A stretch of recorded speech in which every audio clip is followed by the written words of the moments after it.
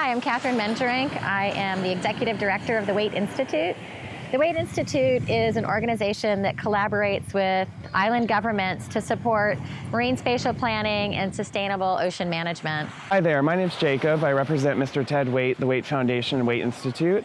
I'm here and on the island of Antigua as the Waitt team has descended urgently to respond to the humanitarian crisis wrought upon the community of Barbuda that the Waitt Institute has had a partnership with since 2013. So this has been a big transition to us. We normally work on Barbuda on ocean management.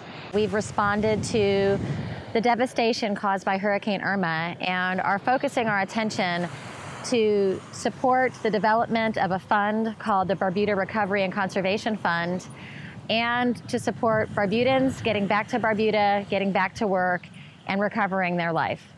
We had people on the ground in Barbuda. We've been over there ourselves, and it is really hard to see Barbuda so devastated, but it's also amazing to see the resilience of the Barbudan community.